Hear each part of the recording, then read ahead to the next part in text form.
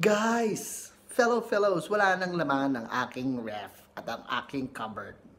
We need to do a grocery run. So I'm gonna show you around. Tingin tayo sa mga supermarkets dito sa Werribee, where I live.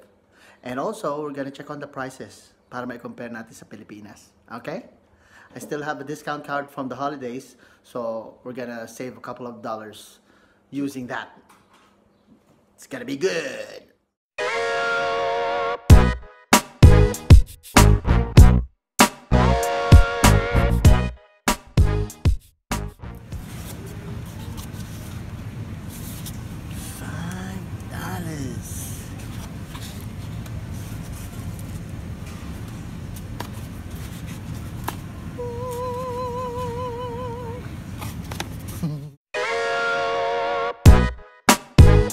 Bye.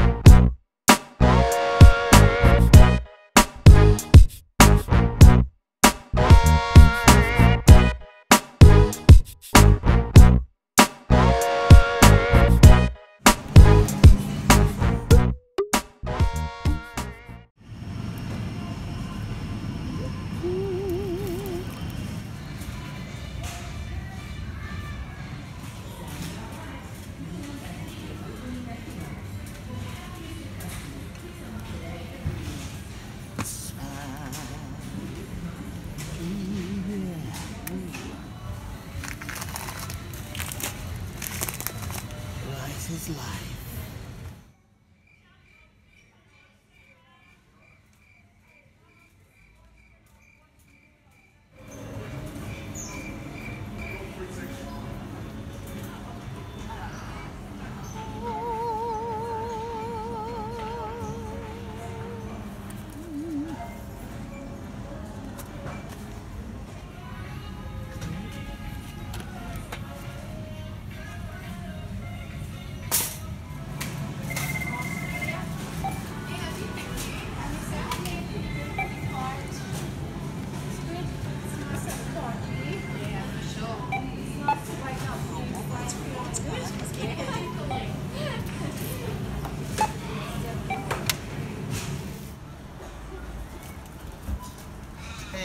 Fellow fellows. So we got what we need.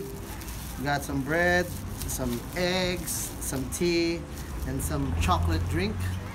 And uh, it's all good. So, fellow fellows, we just finished our grocery run.